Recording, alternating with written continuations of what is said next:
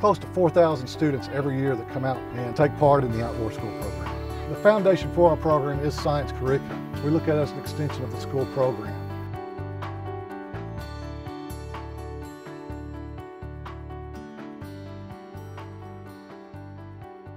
It's very fun because we get to do learning outside, not in a school building. We don't want finances to be a reason for children not to be able to participate in our program.